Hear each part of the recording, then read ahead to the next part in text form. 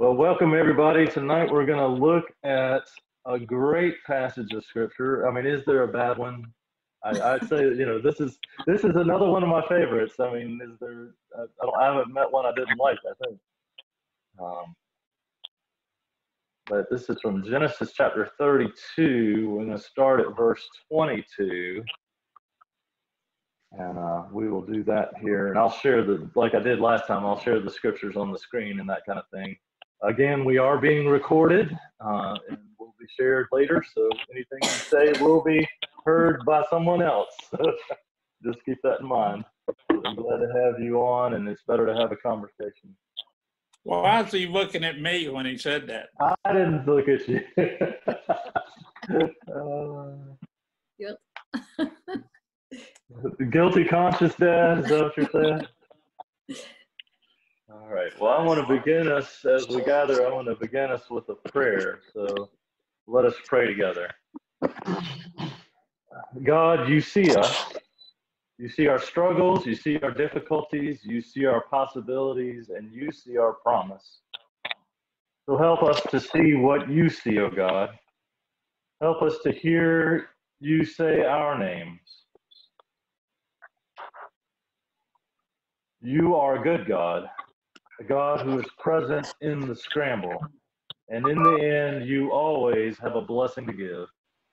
So for this and so much more, we give you thanks. Through Jesus Christ our Lord. Amen. So tonight, looking, I'm going to share my screen now, looking at the story from Genesis chapter 32. We're going to start at verse 22. If you have your own Bible, I encourage you to follow along. And like I did last time, I might invite other readers.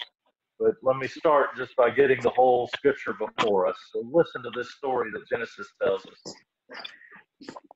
The same night, he, Jacob, got up and took his two wives, his two maids, and his eleven children and crossed the ford at the Jabbok.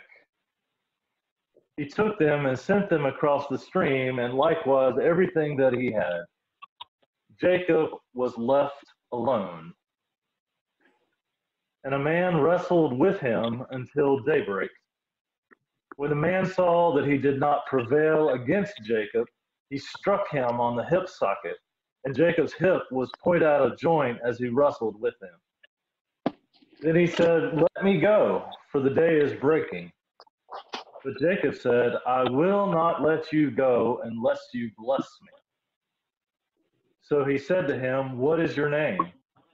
And he said, Jacob.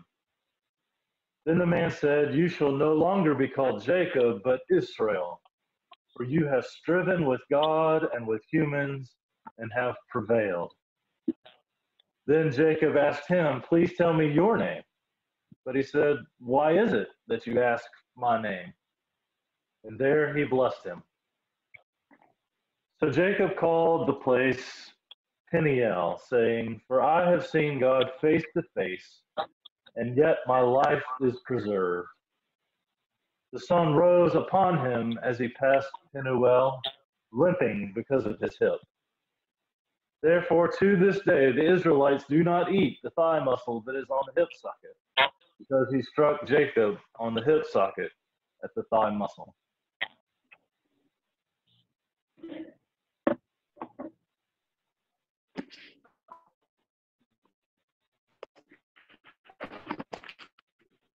So I wonder,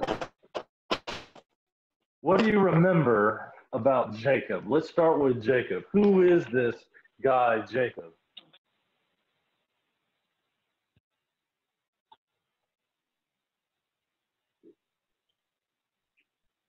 My internet connection is not good. You guys hear me?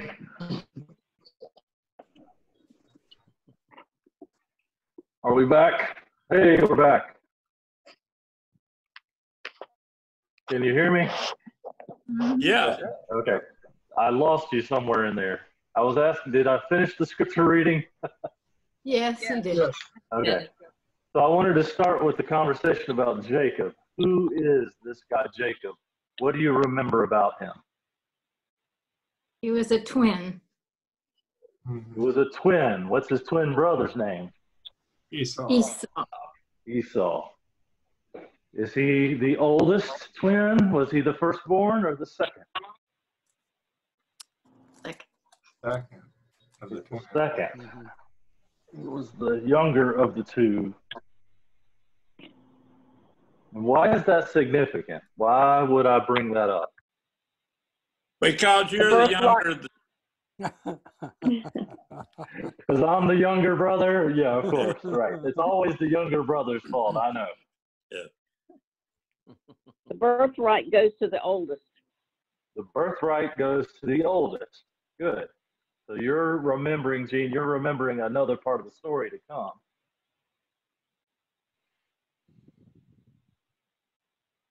Why does it matter that he's the younger brother? You remember what his name means? What does Jacob mean? Why do they call him that?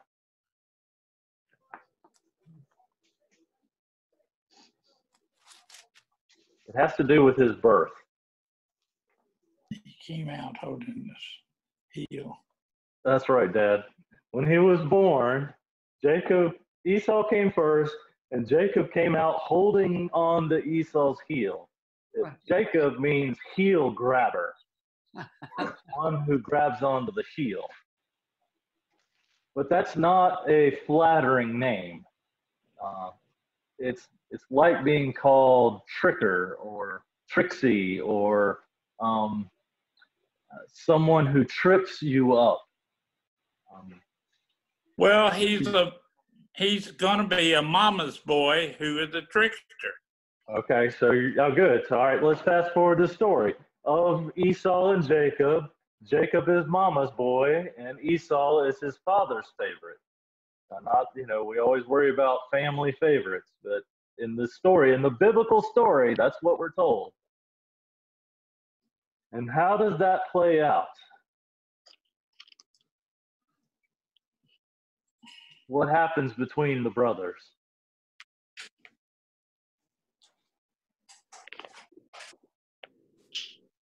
Susan chatted it earlier. Esau, the oldest, should get the blessing, as Gene mentioned, but Jacob steals his brother's blessing. Steals it in a couple of ways. First off, remember, Jacob could cook. He was the chef in the family. And he apparently made a really good stew. One day, his brother comes home from doing his brother's favorite thing, which was what? What was Esau good at? Hunting. He was a hunter, right? So he comes home from a long day of hunting. He comes in and smell that stew. Can you smell it? What do you think? What did the stew smell like? Wild game, probably. Wild game. I wonder what spices he would have used. Can you smell your favorite stew cooking? Can you feel maybe you've already eaten dinner? I just finished mine, but you just get a little bit hungry for that stew.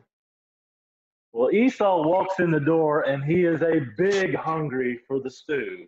He wants a bowl of the stew and he's willing to bargain with the very thing that is most valuable his birthright.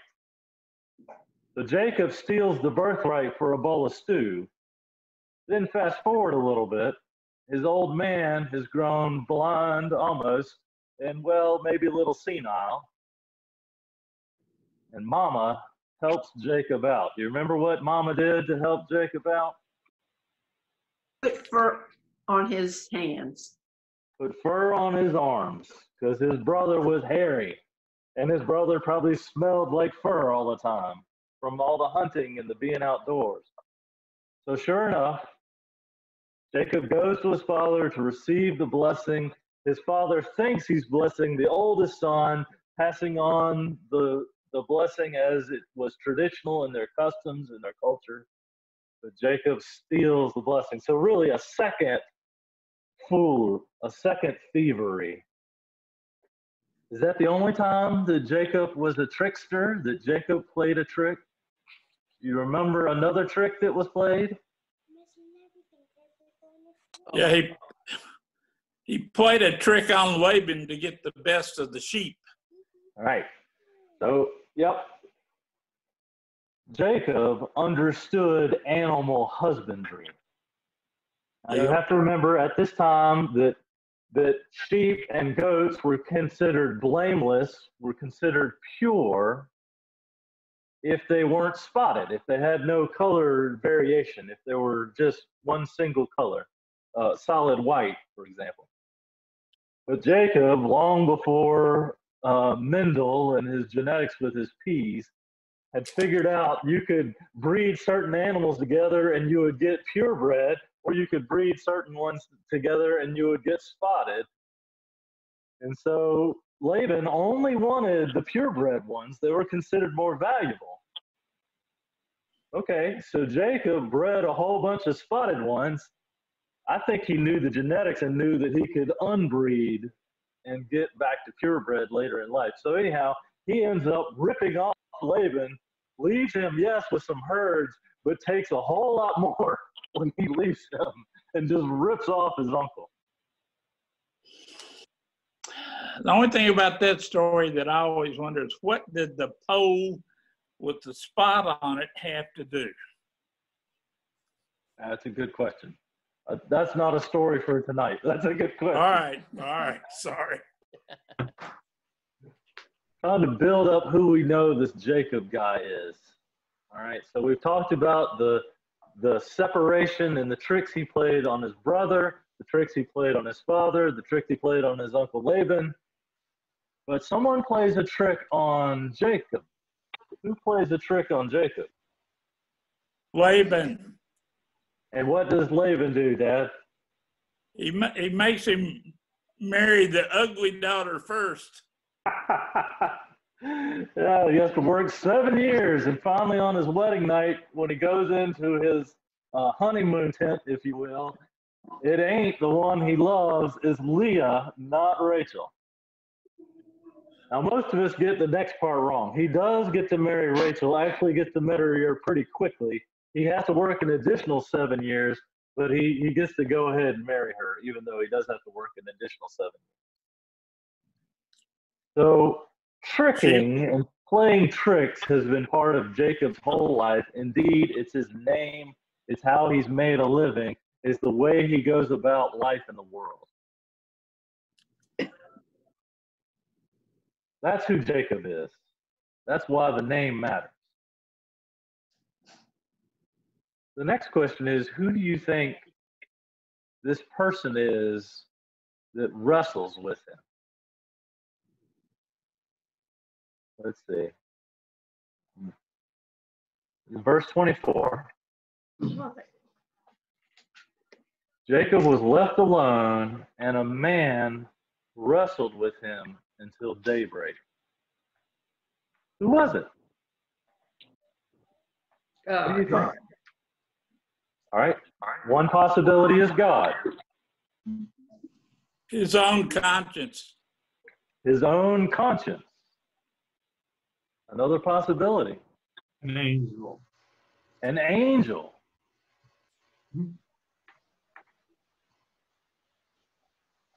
Later in the Well- passage, he says that he's seen God. I mean, you know, I guess technically we all seen God, but I mean, it's just that juxtaposition made me think that it was God or an angel or the spirit of God, something like Right. that. Right. So right later on, you're right. Um, pull it back up.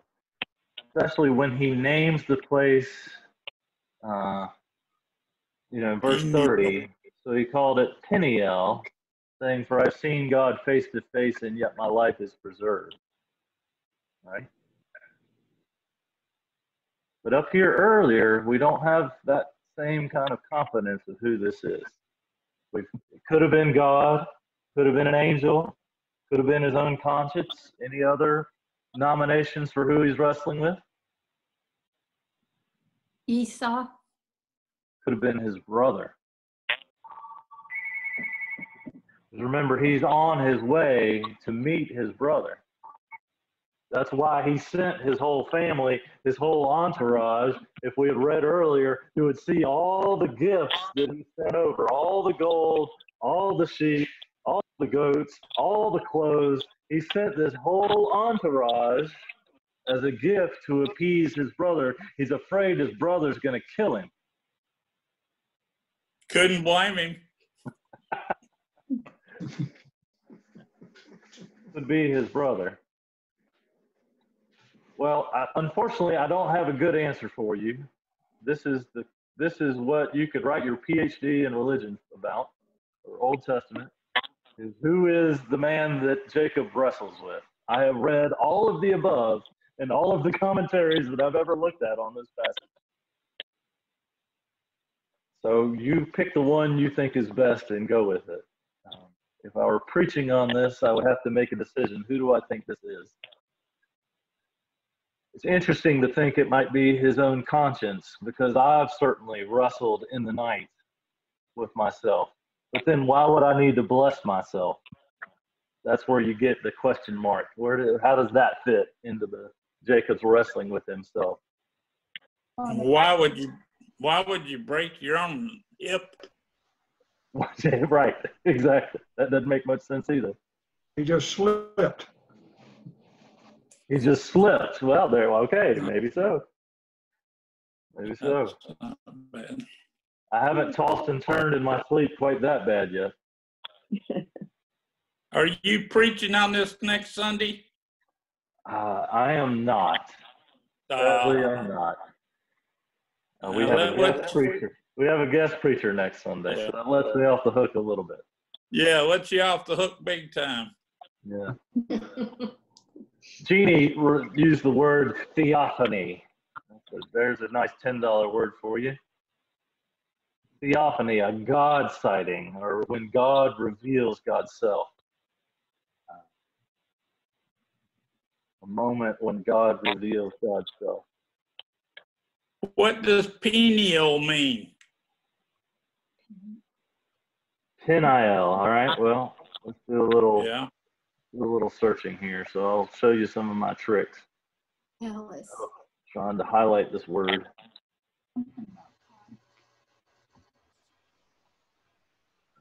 Search for the word. Come on, internet, do your thing. Oh, I thought you could use your Hebrew or No, any Hebrew I learned is pretty much gone. Study Bible would help us here. My internet's not helping us. Well, because what, 'cause what's interesting, Dad, that you brought that up is it's Peniel, and then notice in the next verse it's Penuel. It changes one letter, and there is significance to that. Did you see Susan's I'm, I'm looking. Yeah, so Susan says that Peniel means face of God. So Susan, do you, does your Bible tell you what Penuel means when you change the one letter? El is still God. It's something of God, but I'm not sure what that word means. Yeah, of course. Let me go grab my.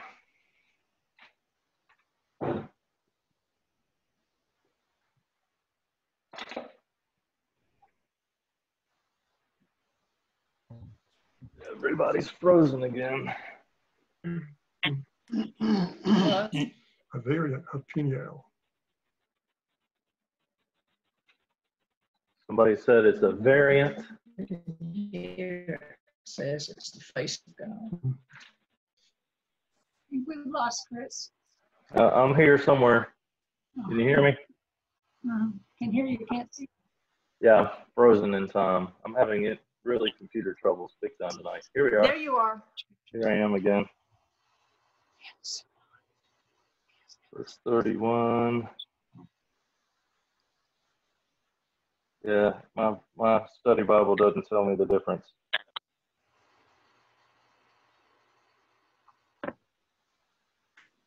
Well, that would be worth chasing after, but that's not going to happen tonight, apparently. My computer's just not holding on very well.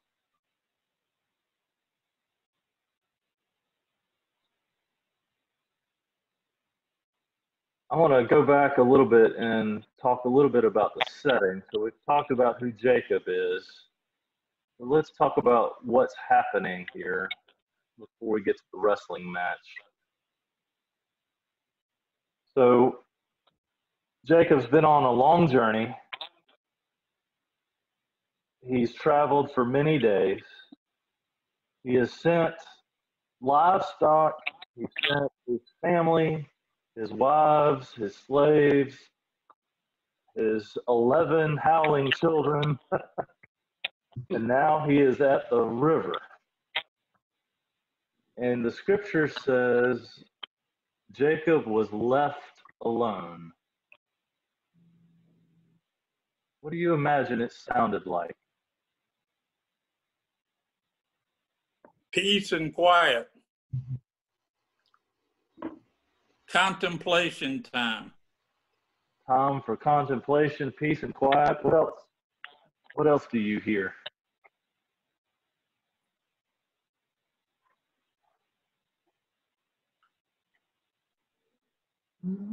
River? You hear the river? Can you hear the babbling brook?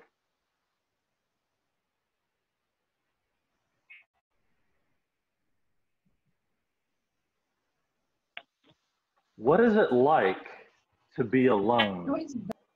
Sometimes when you're alone, you have to come to grips with your fears. Go ahead, Liz. you start reviewing things and um, you know if you're me then regrets and anxieties and you know those things like to jump on me so So we um, start to might- might have things to regret Yeah. All right. So we're reviewing things, and there may be regrets and anxieties that come forward.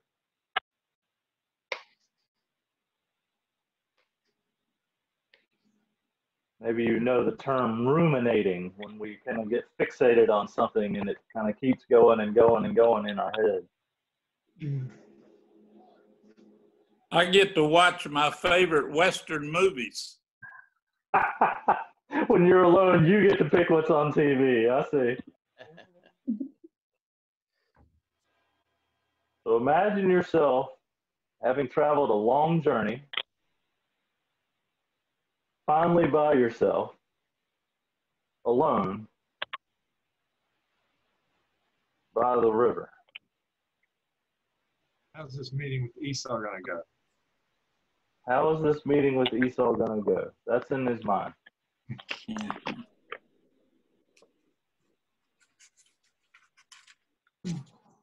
Maybe you remember this book Mhm. from Dr. Seuss. Oh, the places you'll go. There's this one page. Then you'll be all alone, whether you like it or not. Alone is something you'll be quite a lot.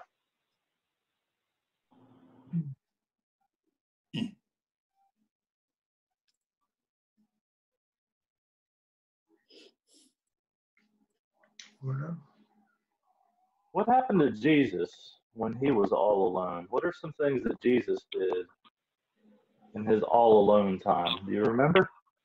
Right? Pray. He would pray. He would go off to a solitary place, sometimes the scriptures say, uh, a lone place, a desolate place. I've often wondered if they're talking about a literally a place where it was just wide open spaces or if it was desolate in the sense of nobody was there.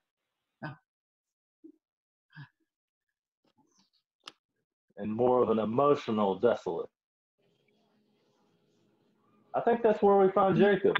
You- have the opportunity to commune with yourself or with God or whomever, uh, which can be a very good thing, of course, but it's also a time of often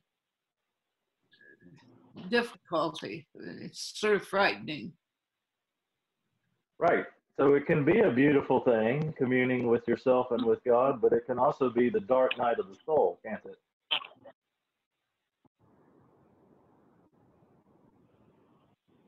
Yeah. Or you're forced to be alone with your thoughts.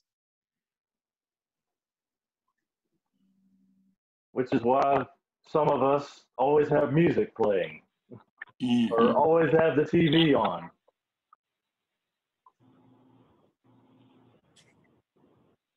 It's evidently he figured out how to handle his fear of meeting his brother because he decided to put the children out front and then the women. And he came along last. He was Yeah, I guess he, yeah. he's really trying to butter him up, I guess. I don't know. I think he knew that his brother wasn't going to harm his children or the women, and so they were kind of a buffer. Yeah, that's right. That's good. All right. Let's uh, dig into the wrestling part now. I've tried to set the scene as best I can here.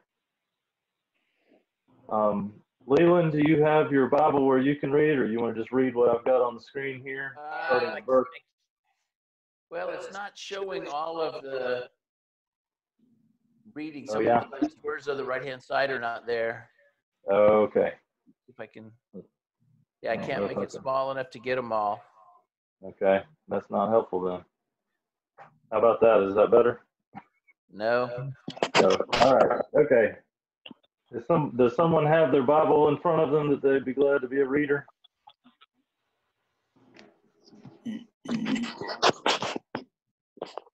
What do you want read, Chris?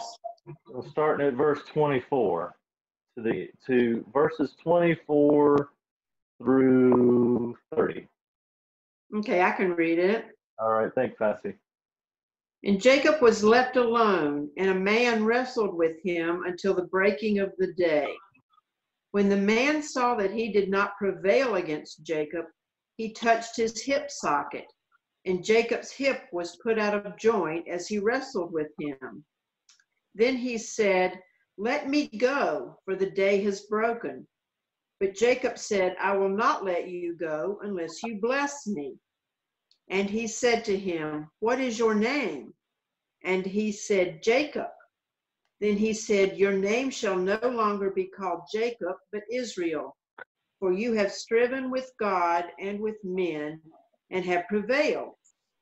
Then Jacob asked him, Please tell me your name. But he said, Why is it that you ask my name? And there he blessed him.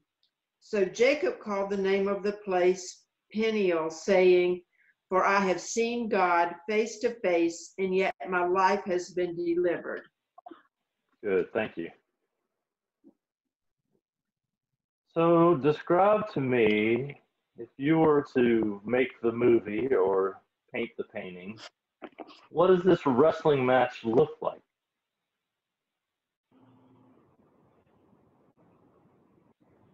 Oh, they probably rolled down in the water and back out and uh, along on the bank and what have you. They might even got some branches and beat each other. I mean, you know, it's pretty. You're gonna do it all night. You're gonna have to do something. All right. Good. I've got a question. Go for it. Uh, So, whoever this is, is a man that could not overpower Jacob for whatever reason, but could just with a single touch touch his hip and wrench it as he Yeah. And then, then the man says, "Let me go, for it is daybreak," and Jacob refuses. So this is an odd power struggle. So Yeah, good. Yeah, so an odd power struggle, and all night long, he can't overcome Jacob. So Jacob's a force to be reckoned with. That's one thing we need to say here. But this guy is able to dislocate his hip. What a dirty trick! I mean, that's against all the WWF rules, isn't it? It was the WWF, Chris. This guy attacks him at night, you know, and I bet that was a, life and death struggle. And that's why he wouldn't let the guy get back up and hit him again, you know? All right, good. So yeah, so it's interesting. So life and death struggle. Yeah. Yeah, maybe had, maybe they did roll into the river and he held him underwater. I hadn't thought of that before. Well, if it's at night, he can't, you know, he can't see really what what is coming at. You know, who knows? The guy may have a huge stick with him or or a big, a huge knife or something. Right? We're not told about, but Um, in my Bible, it says um, when after the man asks what his name is and Jacob answers him, um, the man then said, Your name will no longer be Jacob, but Israel, because you have struggled with God and with humans and have overcome. So that's interesting because I think in yours, it just says you've struggled with God face to face or whatever, however it was phrased. Anyway. Yeah, the face to face bit is in verse 30. But yeah, you're right. In the renaming in verse 28, you have striven with God and with humans and have prevailed. Yeah. Yeah, and my, my translation said, uh, your life is spared rather than, or, you know, preserved. There. Chris, can I throw out a thought? Go ahead, Jerry. Could he have been with a deep, like a deep nightmare? He was struggling within himself. Yeah. He was now two people. could it also be um you know something negative like like wrestling with a demon you know a spiritual attack Yeah, absolutely. Under the cover of darkness, a dark enemy. I mean, think that if you add the dark element to this thing, this is a fearful moment. Uh, It's a night terror, if you want to go that route. That it's like Jerry suggested. It's a, this is a nightmare, but this is the kind you wake up and you're uh, thrashing about and you're just profusely sweating, um, and you you do not wake awake rested. It could be that. It, it could be um, he was fighting for his life, quite literally. It, it, and so, you know, if he he was he was afraid of his brother, maybe this, you know, you can make a case his brother came to kill him. Um, Well, Jacob had a lot of demons, and um, yeah, that that could have been one of them right there. yeah. Could be evil personified, surely. You asked earlier, have you ever, asked, asking us, have we ever been at times uh, alone in our mind? It becomes very active, wandering all over the place. A lot of times people struggle with themselves of what has happened to them earlier or things that they didn't do, what they should have done. So that's what I was thinking a while ago. He might have been struggling within himself. And the demons, uh, the demon was there within him. Right. Yeah. Yeah. Sometimes, you know, you've heard me say that I I'm not big on the devil made me do it, but because I'm more worried about the evil that lies within, that is so close at hand that uh, Right. will tempt me or curse me equally. The evil that happened some time ago and is still in it, you've got to deal with it. That's right. Whether it be something I did that I regret, something I didn't do that I wish I did that I regret, something that happened to me that I regret. I mean, it can be any of that, right? Right. What about what about the broken hip? I mean, is that some sign of atonement? Hmm, interesting. Right. I, you know, I've always taken that just as a really dirty trick. Uh, The, the broken hip was when he was so badly involved in himself, he slipped and fell. he might have fallen off of a cliff. well, so you're saying he just got up in the night and had to go to the bathroom and tripped and fell and made up the whole story, Jerry? He could have. Now that's just Jerry reaching back. That's all. I'm gonna keep my mouth shut. oh man. Well, but what about this? It's almost daybreak. Let me go because it's almost daybreak. So what? Why didn't you call to let me go? Because it's almost midnight. I mean, Whatever he's What- doing, he regards as, or maybe he regards as not something he wants revealed. And hmm. The, you know, he want, you know, it's going to be his secret or whatever, maybe, you know.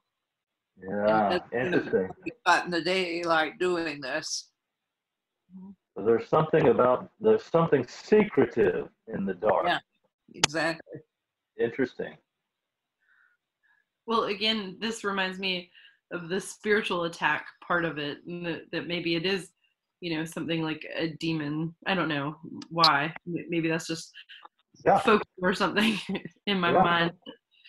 Can't be in the presence of light or something, but yeah. Yeah. Maybe we've watched one too many um, vampire movies. I'm not sure. Yeah, Lord of the Rings, probably trolls or something, you know. right, right. There we go. Um, Yeah. I'm wondering. He it said he he sent um, the wives across at night before he went back or stayed over there, and they probably had some kind of guards and company with them to keep them safe. But they couldn't have gone very far in the darkness. Yeah. So they may have been on the other bank, and most of the rivers over there are not that wide, so they would have been seeing, uh, would have been able to see them in the daylight, and the guards or whoever uh, else was was you know taking care of the. Anyway, it- He, probably. he didn't say it was at night. Yeah. Yeah. Verse 22. That same night, he got up, took his two wives, his two maids, Yeah. his 11 children, and crossed the ford. You've got 11 Well, well. sons. You know, I don't know how old they were at that point, but but anyway, people could come and intervene if they saw what was going on. Yeah. You know, it makes you wonder did they hear him? Did they Yeah. hear? I mean, this would have been a commotion. Yeah, wood should have been a big one. Is that, I've not broken my hip, but I think it doesn't feel too good. When I have a wrestling in the night, the peace comes to me in uh, Psalms or scripture that I have remembered. And so Jacob also turns to God, or if if you assume that he is wrestling with God as well as men. Interesting. I will not let you go until you bless me. Is that where you're thinking, Mom, right there at verse 26? Yes, and tell me tell me your name. Uh huh. Also, you know, uh, others have asked God, "What's your name?" And the only answer ever given was, "I am," Right. or in Job, uh, description of creation. Right. Interesting. Yeah, I think I've often uh, verse 26. I've I've wondered about this. I will not let you go unless you bless me. If I'm in a wrestling match and somebody says let me go, I don't know that that's how I would end that. I think I might let him go, especially if I'm winning. I don't know. No, you won't, because that would be a trick. They turn right around and flip you over. Yeah, maybe so. I only know that because of my grandson's wrestling. There you go. So I just bit. I, I just bit my brother. That's all. That's what I did when I couldn't win. Uh, shame on you. is there any kind of um is there any kind of like uh, cultural meaning like i think of sodom and gomorrah and the guest host relationship that was there Sure. um you know is there any meaning to asking your opponent to bless you like does that protect you from them in the future or something That's a good question. I don't know about that. I can. You're right to say, "What is your name?" Knowing someone's name gives you power. Um, not necessarily power over them, but there is a at least an equalization of power. I've heard I've heard that said before. You know, we'll talk about can you name your problems? Just by naming the problems, you have power over them, or you can start to address them. There's something about naming there.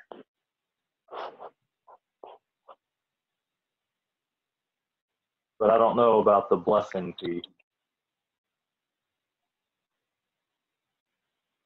But even though uh, God doesn't give a name or the other person doesn't give a name, Jacob receives a new name, which is significant throughout the scripture.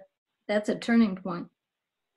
Right. So good. Thank you, Mom, for driving us to the next part. So Jacob, we I spent a lot of energy when we started talking about this name Jacob, which we sometimes I, when I preach on this, I call him Trixie, because he's a trick player. Or if you know, you might use the Batman image of Joker. That would be another good name for Jacob. He's the Joker, and and maybe in all of that full evilness of that character in the in the Batman series. But notice here we have you shall no longer be called Joker or Jacob, but you will be called Israel, for you have striven with God and with humans and have prevailed.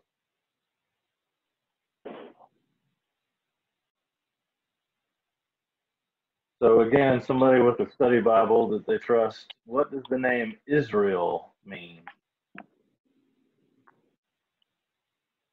Prince with God. Friend. Prince. P R I N C E. Prince with God.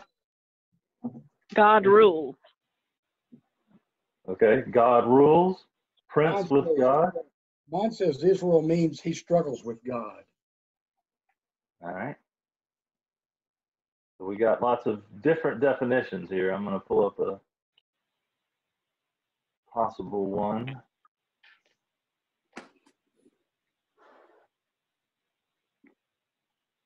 Wow, look at that. Name is used over 2,431 times.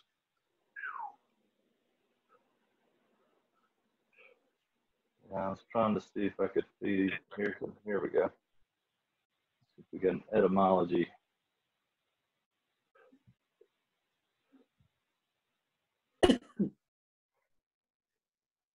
So El is the word for God, and Yashar is to be upright.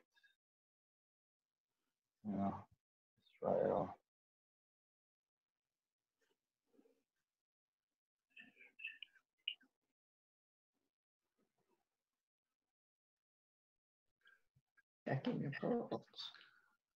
Checking your pearls. Get these. I want to call them spells. Yeah, so here's where Janie's um, Bible said Prince of God. Here's Sar, this word, the root word, could mean ruler or chief. Interesting. So apparently, this um, this website, this look at this word says lots of things. It can mean lots of things. So that's not terribly helpful.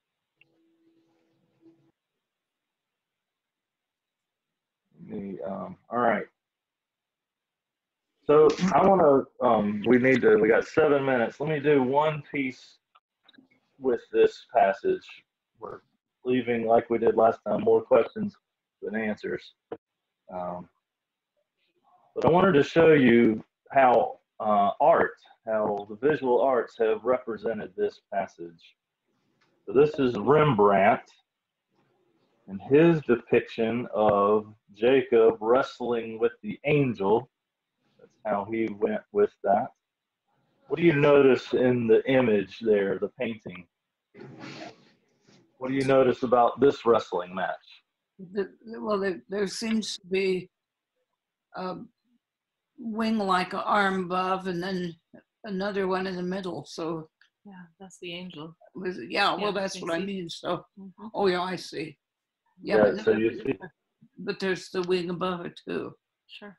But right, so you got a winged angel dressed in white. Notice how the angel's arms are posed. More like a hug. Uh, More like an embrace, yeah. The one hand clearly down on the hip, but one hand kind of cradling his neck.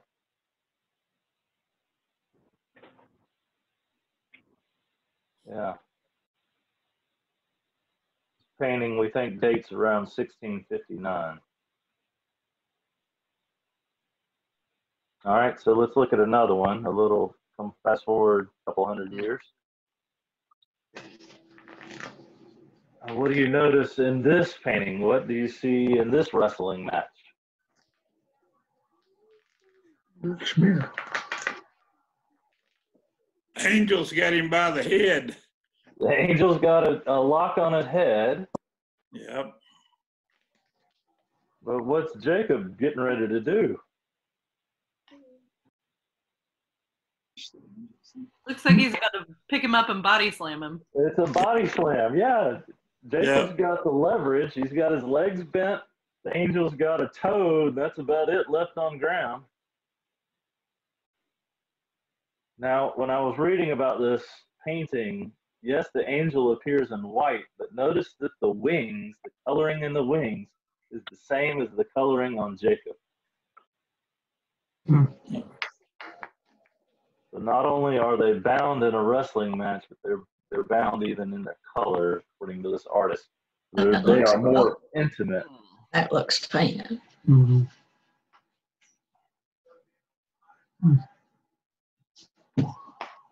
All right, so fast forward, a little more modern here. This one's a little harder to see. More like Picasso, cub, cubism. Here is Yep. The head. That's the face of the angel. You see the angel's wing here and here. And here is the head of Jacob. Hmm.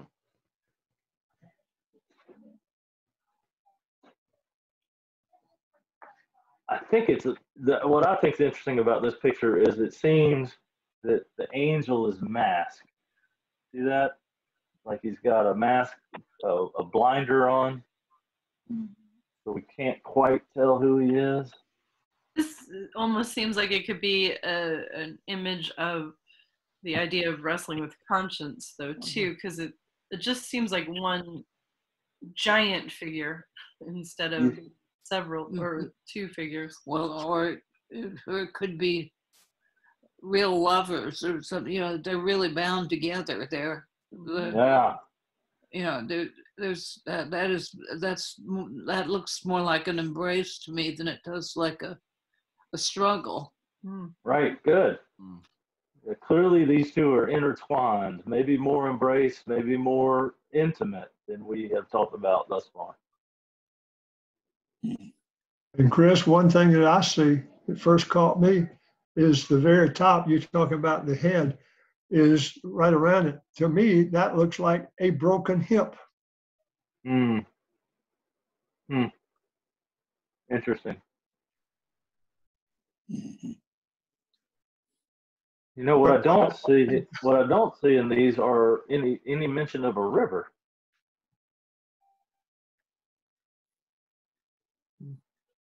I got one last one to show you.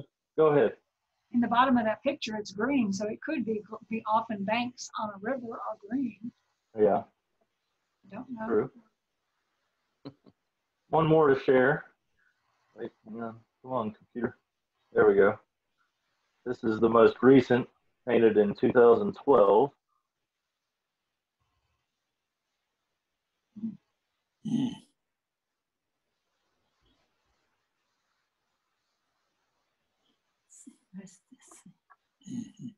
It.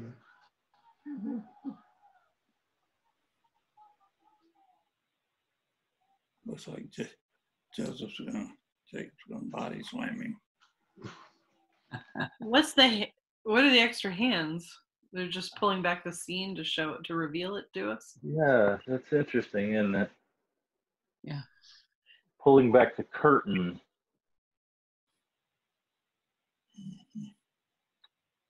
Sometimes a curtain is a symbol of revelation. Something is being revealed. And then the hands could be the hands of God or not sure. Could the ribbon be a, si- a ribbon showing Jacob's life? Yeah, the twists and turns of life. Yes. Hmm. See, of course, you can see the musculature of the athlete. I mean, that's a the, the muscles. Every one of them is tensed and flexed.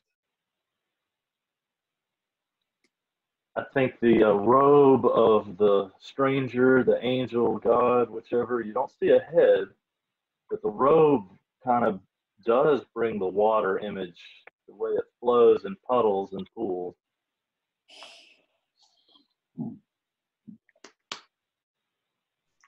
And the image of the night sky is interesting because it looks like those uh, those pictures that are taken where um, you see, can see the stars moving in the sky. So it suggests a, a long amount of time passing that this is going on for a while.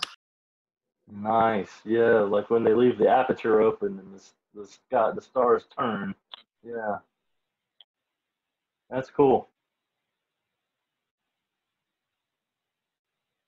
So a couple of different artists' rendition of this story. Um, one of the things, and, and Mom reminded me of this earlier when we were talking on the phone before we started the call.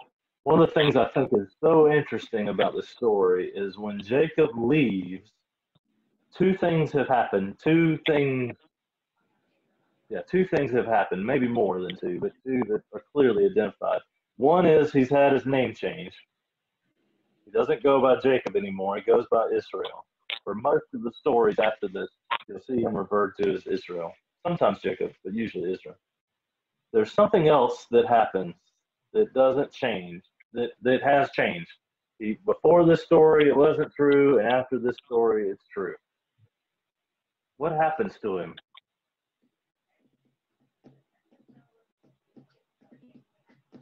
He has an, a permanent injury.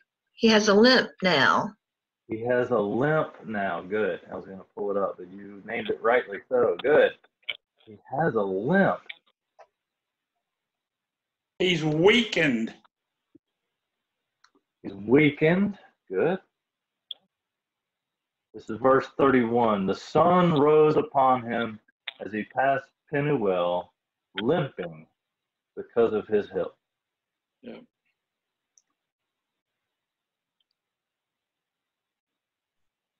Is that a sign of weakness? Weakness changes us. It changes the way we see things. The, in this case, the way he walks. It it makes you more vulnerable. So now he has a vulnerability before he goes to meet with his brother, who he's afraid is going to kill him. Yeah. Well, it, it also makes them, well, the vulnerability is a good point because, I mean, that can be a good thing. To be vulnerable, you're open to something. So he's, you know, this moment of transformation is, it suggests the possibility for further transformation. Agreed. You know, that. Very And- interesting. Scars aren't o- a s- necessarily a sign of weakness. It's this a sign of survival. Yeah, So- right. It's Your, your battle, your badge is almost of battle, you know. Right. Yeah. So it's a it, it's a clearly a constant reminder to him of what happened. But it would also be an outward reminder to others. Interesting. Well, I kind of like what Judy said about changing him because before he's been a trickster. He's always done things indirectly, and yet here he faced it straight on. And he came Mhm. away a changed man as a result of it. Very Yeah. that So, courage. so he's gonna maybe he's gonna face his brother for the first time ever, straight on, man to man. Yeah. And it gives him something he'll always remember. Yeah. Interesting. Walks away a changed man in many ways.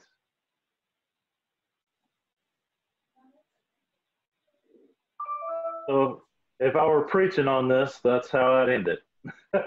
Yeah. Yeah. You wrestle with God, you wrestle in the night, you you uh, you know, you hold on until you're blessed, and then you walk away a changed man. Yeah. May all of our encounters with God be thus. There's something to say about perseverance. Mm-hmm. Certainly. Well, thank you for wrestling with this scripture with me. I've been trying to pull and tug at it and figure out what's going on here. It's better when we do this together. It is uh, a little after eight, so I want to honor our hour commitment to one another, but it is certainly good to see all of your faces and hear your voices. And I pray God's blessings on you. Let's close with a prayer.